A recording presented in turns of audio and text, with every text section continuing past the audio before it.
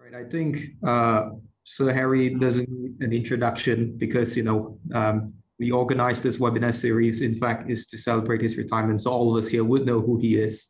So without further ado, I'd like to invite uh, Sir Harry to present his talk.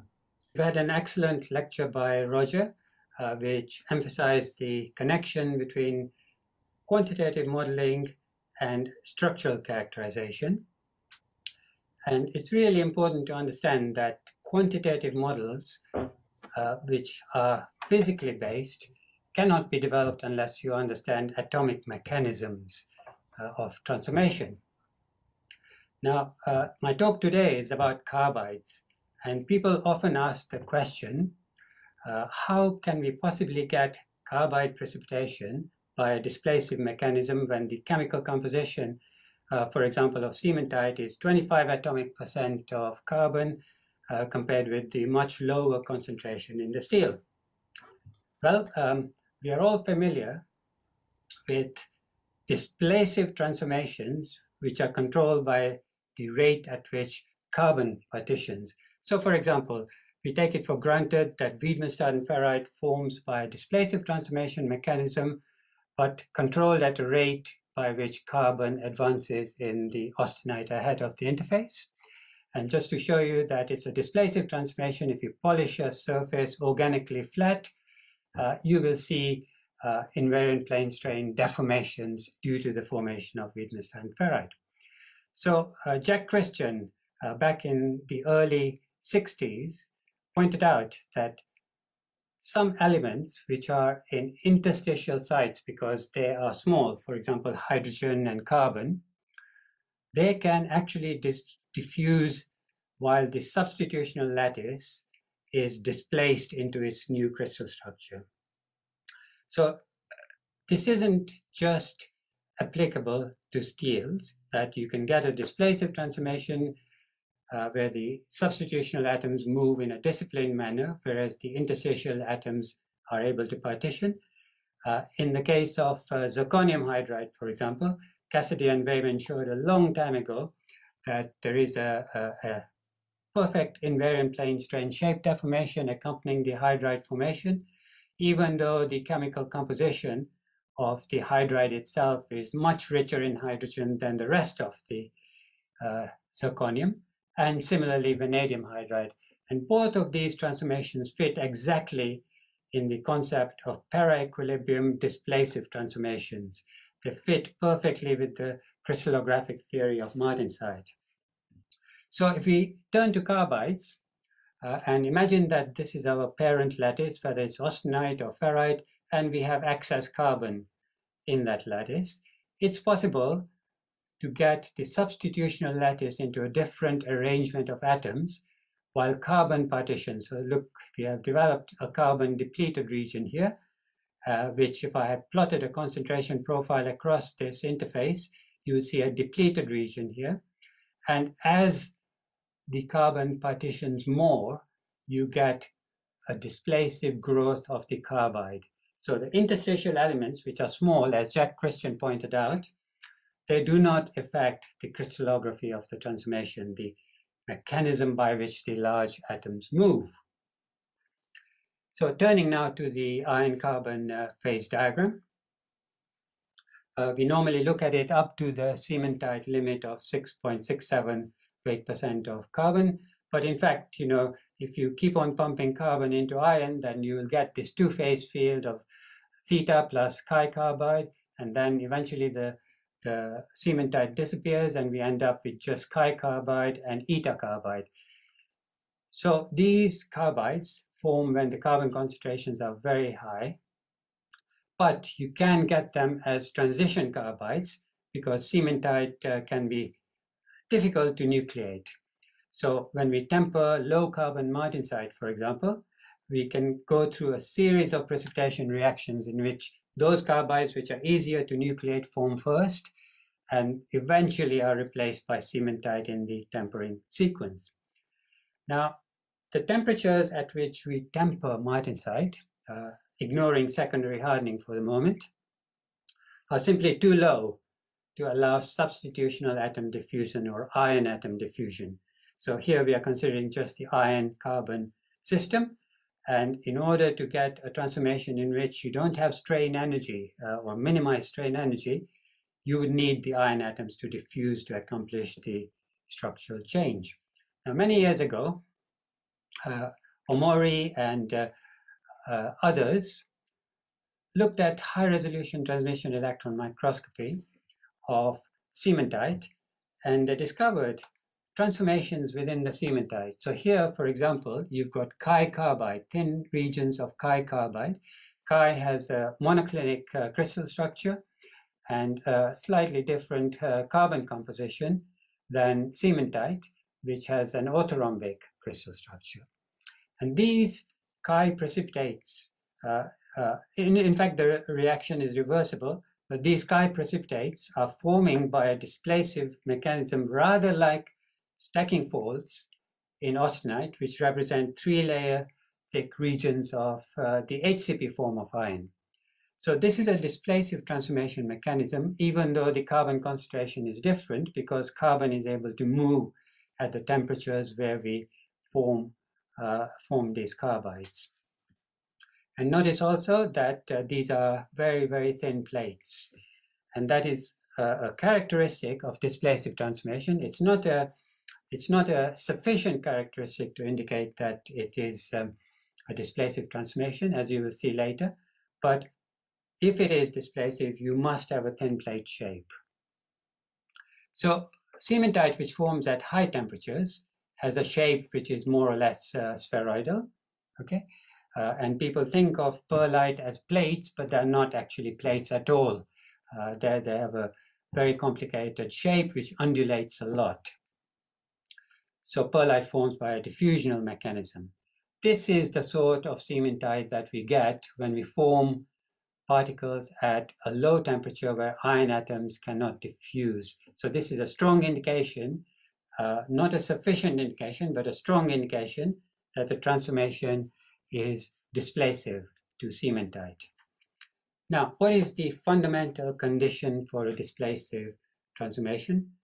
Uh, in order to have an interface which can cause the atoms to move in a disciplined manner, you must have one line in that interface, which is at least one line in the interface, which is completely coherent between the parent and product lattices. Otherwise, you will require diffusion in order to get transformation. So what that means is that if you imagine that the parent crystal is deformed into the product, then the eigenvalues of that deformation must be like this. That means one of the eigenvalues must be 1. In other words, you leave that particular eigenvector completely undistorted and unrotated. And this has to be greater than 1, and the, uh, sorry, um, this has to be less than 1, and this has to be greater than 1. So this condition comes about from the requirement that the interface can glide without uh, the non-conservative transfer of atoms. Now, how can we decide whether a carbide can actually uh, form by this mechanism? How do we calculate these uh, eigenvalues and eigenvectors? Well, it's pretty easy actually. Uh, we routinely measure orientation relationships and you know they are published widely even though the information may not actually be used because they're so easy to measure. Although uh, it's not easy to measure these orientation relationships with the precision that is required, as I will show you later. We also need to have a knowledge of the crystal structures of the parent and the product phases, and some indication of the shape of the precipitate so that we know that we are in on the right track. So how do we actually calculate these values given an orientation relationship and crystal structures? Well, here is the classic relationship between austenite and ferrite. People call it uh, Kurdjumov-Sachs or Nishiyama-Wasserman, but neither of those are accurate descriptions. The real orientation relationship is irrational, but close to uh, having these close packed or most closely packed planes parallel and close back directions within those planes roughly parallel. So this is relatively easy to determine experimentally, the orientation between the ferrite and the austenite. And we can express that as a coordinate transformation matrix or a rotation matrix if the two crystal structures are identical. So we have an orientation relationship, which you can measure using uh, transmission electron microscopy most commonly. What you then need to think about is what sort of a deformation can change that parent lattice into the product. So imagine that this is our austenite lattice. Inside that, we can identify a body-centered tetragonal lattice. And if we compress along this direction and expand along these two directions, that will change into body-centered cubic. And there is something called a correspondence matrix, which says that, look, uh, this particular vector of the austenite, which is a 110 type vector, becomes a 100 type vector of the ferrite. It's not saying what is the relationship between the final and uh, final and uh, initial vectors. It's simply saying that this vector changes into this. And that's why it's a very simple matrix that the 001 direction here is common to both the austenite and ferrite, whereas these two directions, it's the 110 of the austenite, which is parallel to the 100 of the ferrite. So this is called a correspondence matrix, and you identify it simply by looking at the crystal structures. Now, this correspondence matrix is not unique, but as you will see later, uh, the, you will be able to decide on what is the right correspondence matrix by working out the eigenvalues and choosing the minimum uh, distortions that lead you uh, from the parent to the product lattice. So in the case of austenite to ferrite, that has been shown repeatedly to be the Bain strain, which is, which is this, that you simply compress along here and expand along these two axes, and these are the principal distortions. Okay, so we've got the orientation relationship and we've got the uh, correspondence matrix. Uh, that's the orientation relationship. And the deformation required to take the austenite into the product lattice, you can get from your experimentally measured orientation relationship and your guessed correspondence matrix. So this is actually a physical deformation which includes both uh, a pure deformation in which you know the principal axes are not rotated and also a rotation, a rigid body rotation. And then it's very easy from this to work out the eigenvectors and the eigenvalues of the deformation. And in the case of the austenite to ferrite transformation, it's possible to find an invariant line. And that's why martensitic transformation is possible.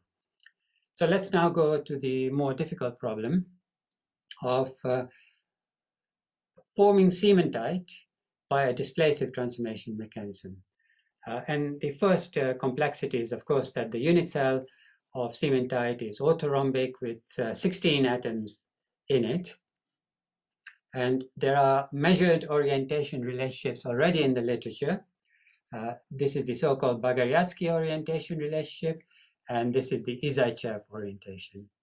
Now, although the Bagariatsky orientation is used widely in the literature, uh, it actually doesn't exist, as was shown by Zhang, uh, Zhang and Kelly many years ago because most of the measurements done do not have the precision. You know, they're simple electron diffraction or EBSD and so on, which simply do not have the accuracy. If you do these measurements using uh, transmission electron microscopy and the right techniques, you can show that this actually doesn't exist. And this, which is a, a deviation from this orientation, is the correct description when cementite forms during a tempering reaction or during the bainite transformation. Now, it's very interesting actually, because I did an analysis in which uh, I demonstrated, first of all, that the Bagariatsky orientation does not lead to an invariant line, okay? because none of the distortion, there's no line left uh, undistorted and unrotated. But if I then multiply this matrix by the rotation that would change Bagariatsky into Isaichev, then I recover the invariant line. Okay, so this is the line that is necessary in order for the transformation to be displacive. And as Pat Kelly and uh, pointed out, the Bagariatsky doesn't uh, exist because it doesn't lead to any invariant line. So if you correct the Bagariatsky by adding a rigid body rotation, you get the correct orientation relationship and the mechanism of transformation can be displacive, consistent with the temperatures at which these reactions happen. And of course, there are transition carbides as well. So epsilon carbide, for example, uh, sometimes precedes cementite if the carbon concentration is sufficiently large. And we know the orientation relationship between the uh, epsilon and the ferrite. So this is a, a 110 plane of uh, ferrite, and this is the unit cell of epsilon. So we can work out a correspondence matrix. We have the complete tool, the orientation and the correspondence matrix. And here are the calculations that I did. We show that it's impossible to get a displacive transformation. So that's a puzzle because epsilon forms at the same temperature as the cementite during the tempering reaction. So why does it form in thin plates when diffusion of iron atoms is not really a possibility at all? And yet we cannot find any of the eigenvalues to be 1. The answer lies in some atom probe work which was done in Oxford uh, quite a long time ago. I think Alfred Cerezo is online at the moment and he might recognize this image. These are not carbides. This is the clustering of carbon, the oriented clustering of carbon that takes place before the epsilon carbide precipitation reaction. Now what that means is that the lattice parameter locally increases because carbon increases the lattice parameter. And when I did a calculation allowing for an increase in the lattice parameter of the supersaturated ferrite, you not only recover this invariant line, but you can show that this line actually lies in the habit plane of the epsilon carbide. So all is well. Uh, the question of why you get the clustering of carbon and why it is an oriented clustering is answered in uh, uh, the paper that I referred to here by Zhu, uh, Cerezo, and George Smith. Okay, uh, eta carbide, which is also a transition carbide that was shown uh, many, many years ago by uh, Taylor and Greg Olson and Morris Cohen to be completely consistent with a displacive transformation mechanism. And this is the shear strain and the volume change is really quite large uh, because of the crystal structure of uh, eta carbide. So all of these carbides happily form by a displacive transformation mechanism. And this is a beautiful image. I really like it because it also shows this uh very fine tip that you have, which is a characteristic of displacive transformation which allows the plate to be elastically accommodated inside the matrix. Now, in the case of uh, uh, nitrides, uh, it is also possible to find an invariant line. Okay, this is a body-centered cubic uh, type nitride, and you can see that the shape is truly of a plate, thin plate. So this is just looking at the habit plane on uh, in a plan view. Now, my next slide uh, is about deformation-induced martensitic transformation of carbides. Okay, now you might imagine this is really crazy, but in the course of um, my uh, researching uh, for a book, I discovered one single paper, courtesy of Google Scholar, on the martensitic transformation of titanium carbide. So these, this is electron microscopy, showing, you know, fault-like images, okay? But the authors were clever enough to investigate these faults in, in great detail. And what they are is a sequence of two martensitic transformations. So first you get what they call a quad, quad-like uh, uh, martensite here, which is rhombohedral and just four layer thick. And then the transformation progresses with twin related uh, layers of martensite, which have a different uh, total symmetry. And you get this transformation from cubic to rhombohedral. This is the four layer thick region. And if you put uh, the twin related four layers next to those four layers, then the whole thing is described as a hexagonal martensitic transformation. And it fits so nicely with the crystallographic theory, even though this shear strain is enormous. Okay, this is a this is greater than the shear strain in twinning. Okay, so this is the largest uh, shear strain that I have found in the case of martensite, and a volume contraction normal to the habit plane. Now, this isn't the only deformation-induced carbide transformation.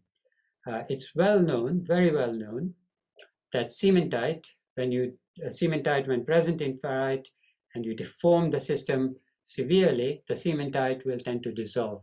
So here are some uh, experimental data on the drawing of pearlitic wires. Uh, these are simply the transformation temperatures at which the wires were produced. So this would give fine pearlite, this would give coarse pearlite. And you can see that the fraction of cementite, quantitatively measured using Mössbauer spectroscopy, uh, decreases with the drawing strains. So here I have a measure of, you know, the amount of cementite that has disappeared into the ferrite, uh, completely dissolved, and the carbon has gone into a supersaturated ferrite as a function of drawing strain. What I need in order to do a calculation is, uh, uh, is also the dislocation density. But before that, I'll show you how this dissolution looks like in the atom probe. So, you know, uh, if you think that uh, the cementite has a composition of 25 atomic percent, this is at a very late stage of the dissolution process. You can see that there are regions near the cementite particle, the original cementite particle, with a, a very widespread distribution of carbon. So this is a real effect that the cementite is actually dissolving in the ferrite.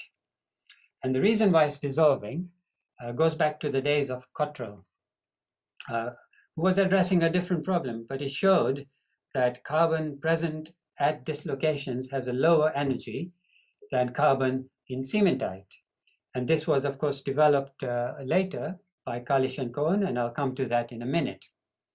So the simple reason about why cementite goes into solution when you deform heavily is that there is an increase in dislocation density in the ferrite, and the carbon becomes more stable inside the dislocations than in cementite.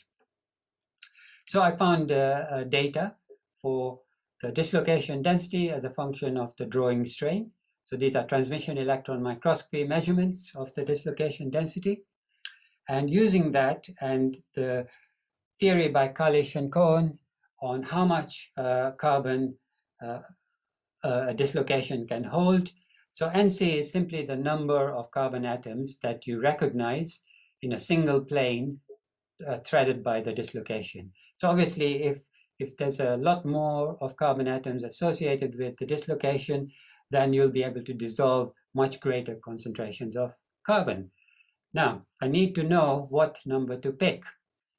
And of course, I can refer again to uh, data from, uh, sorry, data from uh, the atom probe, the classic work that uh, George Smith and uh, Alfred and um, another person whose name I forget did to image the carbon atmosphere around dislocations, and they came up with a number of 21, which, which kind of fits with uh, the strain fields around dislocations. And when I do the calculation for the data that I illustrated earlier, it nicely explains the cementite that went into solution. So this is a deformation-induced transformation of cementite into supersaturated ferrite. Uh, it's not martensitic, uh, even though there is one paper uh, from the Max Planck Institute which claims martensitic transformation. It's simply the dissolution of carbon at dislocations. Now, going to substitutionally alloyed carbides, you know, which are rich in substitutional alloying elements, there's no possibility of them forming by a displacive transformation mechanism. And this is an analysis I did from the atom probe work by Stark and Smith, which shows that the trend in particle size that they observed is similar to the trend with a very rough uh, calculation of the diffusion distance of molybdenum atoms. So without the ability for these atoms to diffuse, uh, these carbides simply would not form. And I think Roger mentioned it in his talk, but um, basically you can rule out substitutional atom diffusion below about this temperature range in typical heat treatments. So if I do some calculations in a similar way to uh, how I explained it earlier, that I uh, get an orientation relationship which is in the literature, and I um, work out a correspondence matrix, uh, there is absolutely no invariant line. And furthermore, these distortions are really huge, especially along these two vectors. Okay. Now, the reason why I have hexagonal and orthorhombic is because uh, if the composition of the molybdenum carbide is somewhat different, then it has uh, an orthorhombic lattice rather than hexagonal. But these two are fairly similar uh, if you plot their crystal structures. So the conclusion here is that it's impossible to get a displacive transformation. Of course, we knew that because you would require substitutional atom diffusion, but we can still use this information what this shows is that the strain fields, uh, you know, if you if you actually had a coherent particle, the strain fields along these direction would be intolerable at any observable size.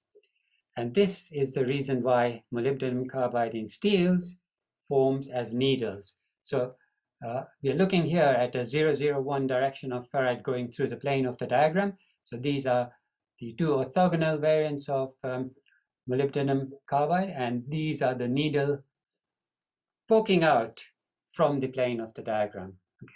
So these are truly in the form of needles along the direction where we have the minimum uh, deformation to change the ferrite into the molybdenum carbide. So you can explain the shape of a diffusionally formed uh, carbide simply by looking at these deformations required, even though they are hypothetical deformations. Now, just to prove this, uh, I did a search in the literature, and uh, one of my former students, uh, Joe Robson, and his team have been working on uh, uh, graphene Uh, formed uh, formed on uh, liquid copper that is in a molybdenum crucible, and they accidentally formed molybdenum carbide, which is not at all like a needle. Okay, so this is unconstrained molybdenum carbide. You can see that this is not at all needle shaped because it doesn't have a surrounding ferrite matrix. And this is another, another example from a different uh, study where molybdenum carbide is faceted hexagonally but is not forming as needles. So it's entirely the constraint of the ferrite which is giving us the needle shape. If you go to vanadium carbide, which also cannot form by a displacing mechanism, uh, we often say it's V4C3, but actually it's V6C5 uh, with a monoclinic crystal structure because uh, there is ordering of vacancies on the carbon atom sites. But let's say we are just interested in the substitutional lattice, then we can approximate it as, as this um, uh, cubic F lattice. So these are the lattice points of the vanadium carbide, and this is the ferrite with a much smaller cubic unit cell. So if I want to distort the ferrite into the vanadium carbide, I, to, I would have to expand it along all three directions because the lattice parameter of ferrite is uh, 0.2867. Okay, so this would be the expansions that I would have to implement. And you notice that one of these eigenvalues, which is along here, is much greater than along the other two axes. So this immediately suggests that we should get a plate-shaped vanadium carbide, which forms by a diffusional mechanism, and that's exactly what you see. Okay, these are. Uh, this is a plan view of a precipitate, uh, which which is uh, whose normal is along the normal to the diagram. What it also says is that you know, uh, you will only get coherency strains when these particles are small. Okay, uh, as soon as they coarsen, uh, you cannot tolerate the sort of distortions that I outlined in the previous slide, and you lose the coherency strains. Now, why is this important? Well, you know, a, a lot of us have been developing steels which resist hydrogen, okay? And they, it's only diffusible hydrogen that embrittles. And the reason is, you know, the hydrogen concentration is so ridiculously small in the steel that when you form a crack, the hydrogen has to diffuse to the tip of the crack and concentrate in order to embrittle the steel. You know, one part per million isn't going to embrittle hydrogen if it doesn't diffuse. You know, if I have a steel containing one part per million, it's there forever without any cracking if, uh, if, there are, if there is no stress applied. Uh, in other words, if there is no crack and a stress. It's only the focusing of hydrogen at the crack tip which leads to embrittlement.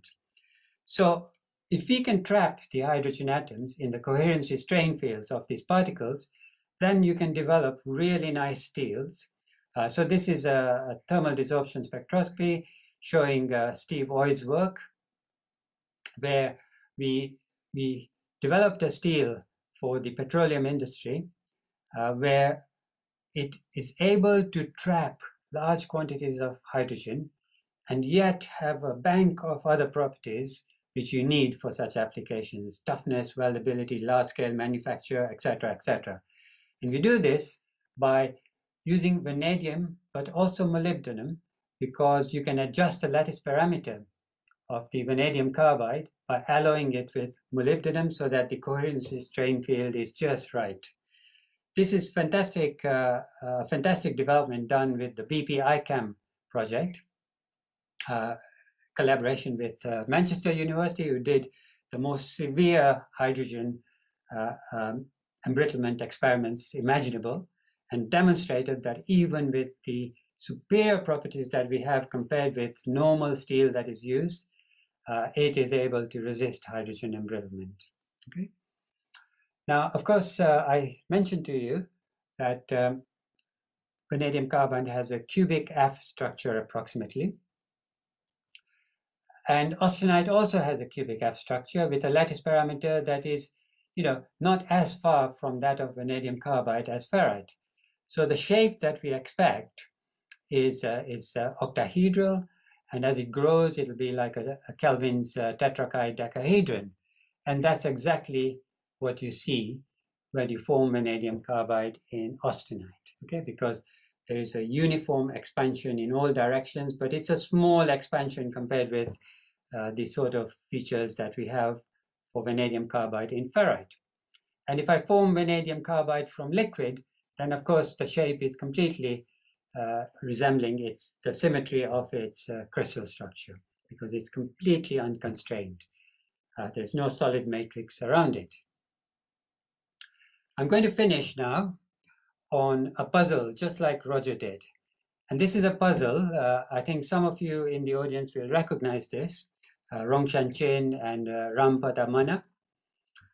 But it's a puzzle that has been irritating me a lot. Okay, And that is that when you take a steel, uh, Rampada Manna provided me these, uh, with these micrographs, but there are other studies in the literature and also reported in my book uh, where we apply electrical pulses, not just to nanostructured bainite, but to pearlite, etc. And you know, the total duration of the pulsing was uh, less than a millisecond. And the structure changes completely into this. Okay, so this is a real effect. So we've got a change from a mixture of ferrite and austenite to cementite particles forming. Apparently in milliseconds, and Rongshan Qin claims and others claim that this is not a heating effect.